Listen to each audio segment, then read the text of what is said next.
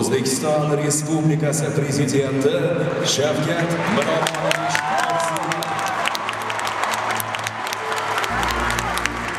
Уважаемые гости, дамы и господа, сегодня в преддверии весеннего праздника Наурус мне доставляет огромное удовольствие приветствовать всех вас на открытии Ледового дворца Хума-Арены.